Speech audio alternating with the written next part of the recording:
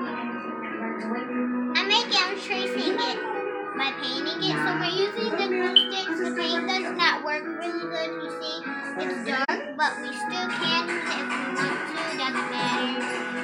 Um, but I'm tracing it, and it's gonna look so beautiful. And I can't wait to decorate it so much. It's gonna look so beautiful. So right now, I'm just bubbling it in. but I'm.